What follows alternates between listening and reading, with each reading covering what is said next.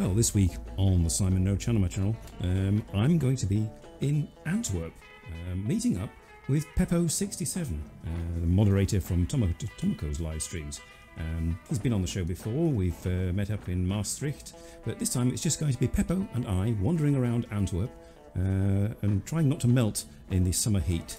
Uh, so join us at uh, possibly the usual time um, of half past eight Japan Standard Time, or it could be a little earlier. It could be perhaps uh, uh, eight o'clock Japan Standard Time. We shall see. Um, I'll schedule the stream and see you there.